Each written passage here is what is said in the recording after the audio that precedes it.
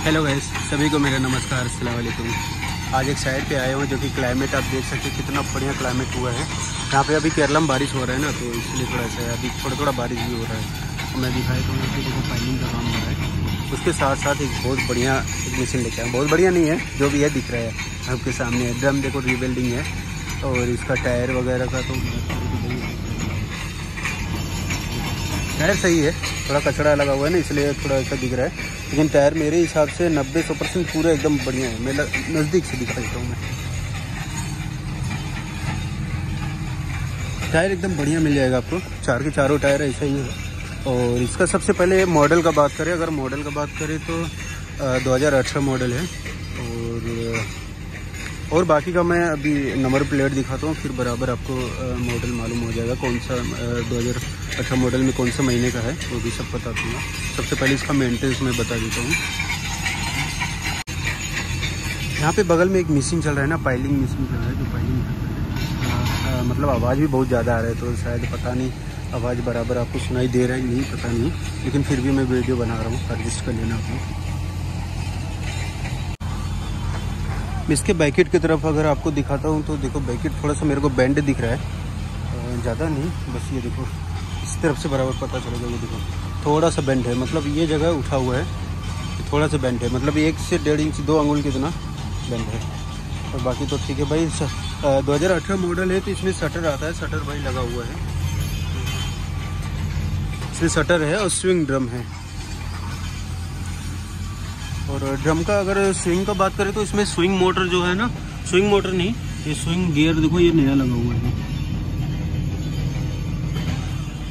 इनका क्या इश्यू था पता नहीं, लेकिन ओनर ने बोला मेरे को, अभी दो से सवा दो लाख रुपए लगा है, इसको पूरा सर्विस करा है स्विंग मोटर और गियर दोनों नया डाले हुए हैं।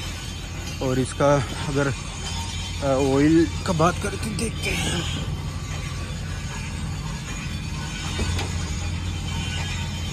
ऑयल लेवल बराबर है हाइड्रोलिक ऑयल और पंप के तरफ़ आपको दिखा देता हूँ मैं।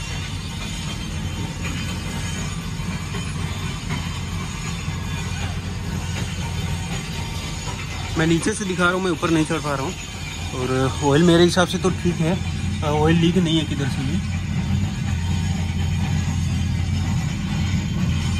एक बार स्टार्ट करके उसके बाद मैं आपको दिखाता हूँ, ताकि आपको बराबर एकदम मेंटेन बराबर पता चल जाएगा। और इंजन तो भाई एकदम सूखा पड़ा हुआ है तो ऑयल किधर से भी लीक होने का कोई चांसेस ही नहीं है।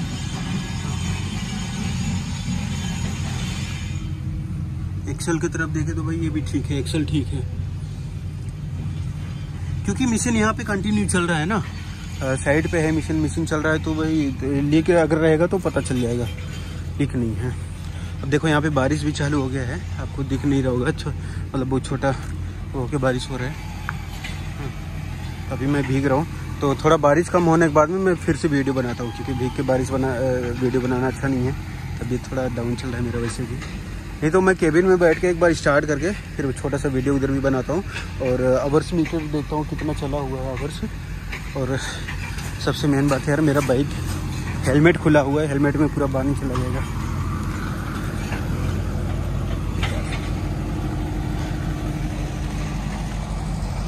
इसको पहले बंद करना है।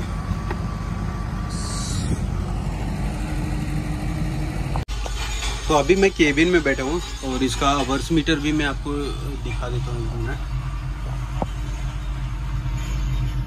देखो छः हज़ार एक सौ इकतीस घंटा चला हुआ है। छः हज़ार एक सौ इकतीस मतलब छः हज़ार डेढ़ सौ मान के चलो, कितना चला हुआ है।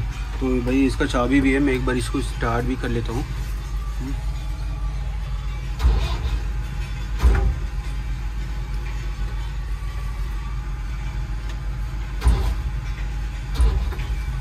बैटरी डाउन है लगता है। स्टार्ट भी नहीं हो रहा बैटरी डाउन है।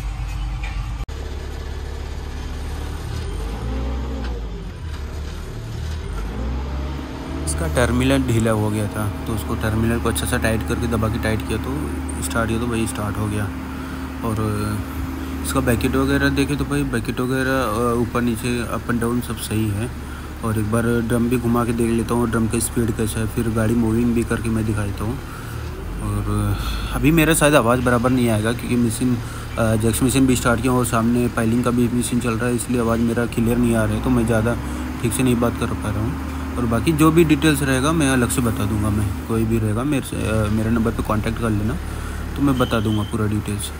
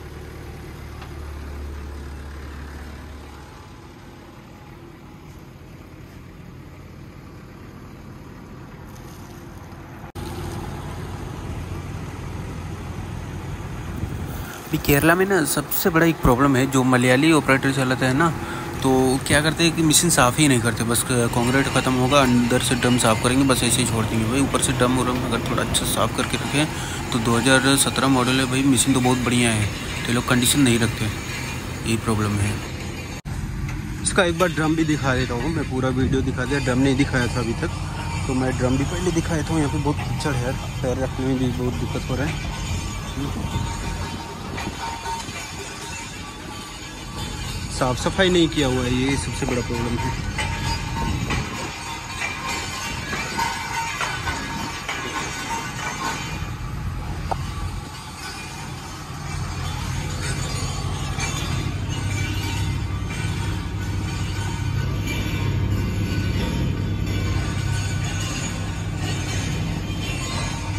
ड्रम का कंडीशन भाई सही है रीवेल्डिंग है।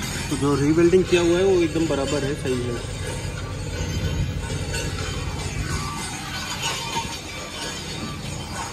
और बाकी का तो भाई कंडीशन तो आप देख सकते हो, ये सब साफ़ करना पड़ेगा पूरा।